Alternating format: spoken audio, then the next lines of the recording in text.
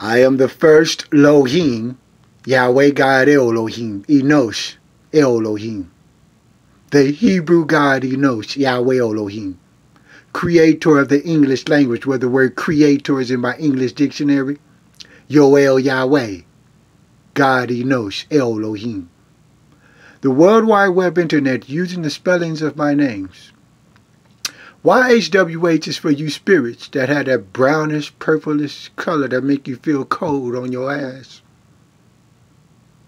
Where Yahweh created the five senses for every spirit that claimed to be Yahweh and thought you had a body. Elohim did not create that for you. The color purple. Cold.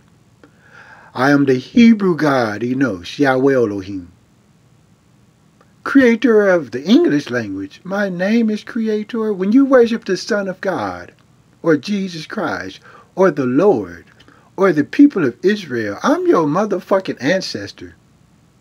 And when you placed my name, Amen, Elohim, Yahweh Elohim, in that Bible, I did not know why. Now I see in that World Wide Web Internet all the slanders of my names. You spirits that call yourself God Elohim is dissipating you dissipating you. It spells AIDS for spirit. It's that purplish brown circle in back of your ghastly ghost things. But when you claim to be me, God Enosh, Yahweh Elohim, I'm your ancestor. Enosh name spirit, and you spirits that think that a God has a mind. Remember, Yahweh created knowledge in your mind.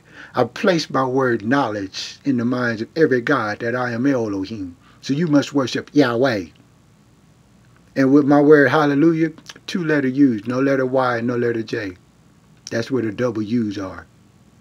Mm-hmm. Where I place my Hebrew name in your motherfucking minds too.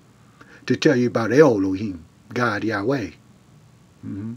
So when you keep worshiping El Yahweh, mm-hmm, that's me, he knows. Thanks. Yoel Yahweh. Mm-hmm. And thanks for all the men that you gave AIDS and HIV claiming to be me, Yahweh over the course of a thousand generations. Yeah, this is Venus, the planet of love, Elohim, which is my mind, Yahweh Elohim.